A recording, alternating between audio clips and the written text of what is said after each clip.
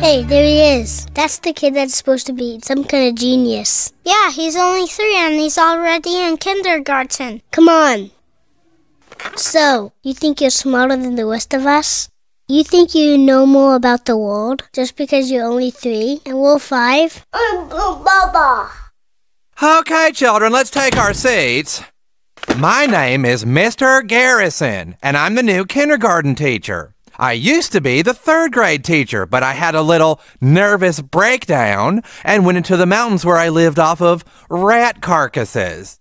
But I'm all better now, and the school was nice enough to let me go on teaching, as long as it was for kindergarten. But it's not a demotion.